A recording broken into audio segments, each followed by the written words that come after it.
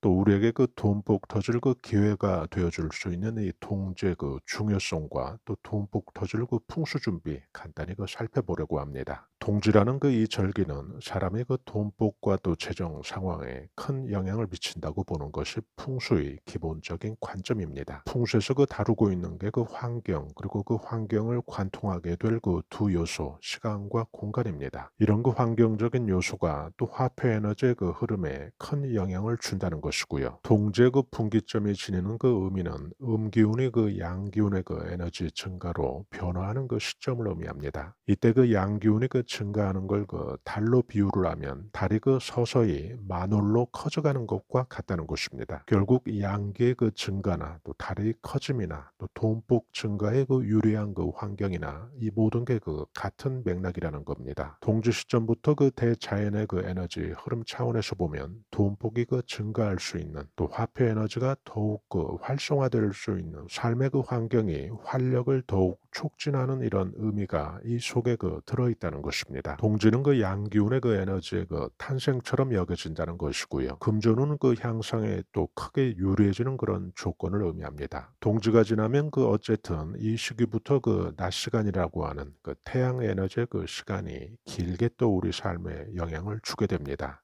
이런 그 풍수적인 그 관점에서 동지 그 이후로는 사람의 그 부가 증가를 하고 돈복이 좋아지고 또 재정적인 그 환경이 그 이전보다 더욱 그 점차적으로 번영을 향하는 재정적인 그 부를 늘려가는 그런 그 시기로 진입함을 뜻한다는 것입니다. 1년의 그 절기 가운데 또 주기 가운데 그래서 그 동지가 지니는 그 의미는 사람의 그 돈복과 또 깊은 연관성을 그 빼놓고 이야기할 수 없다는 것입니다. 또 풍수에서는 그 동 지부터 그 집에 여러분들 그 집에 그 수정류라든지 그 옥 제품이 있을 텐데요. 그 옥돌 같은 걸 말하는 거죠. 또 매끈매끈한 그런 돌이 있다면 또 그런 돌이 또 없다면 또 구하셔서요. 동지부터 그 집의 그 남쪽 구역 한 곳을 정해서요. 그곳에 그 두셔 보시기 바랍니다. 이런 그 수정류나 또 옥제품 또 매끈매끈한 그런 돌에서는 지방구역에서 그 부의구역이라고 할 수 있는 그 집의 그 남쪽으로부터 또 하지까지 계속해서 그 불을 충전받는 그런 그 풍수 효과를 주게 된다는 것입니다. 또 이렇게 놓아둔 그 수정류나 또 옥제품 또 매끈매끈한 그런 돌은 하지부터는 그 집의 북쪽 구역에 또 옮겨두시면 또 아주 좋고요.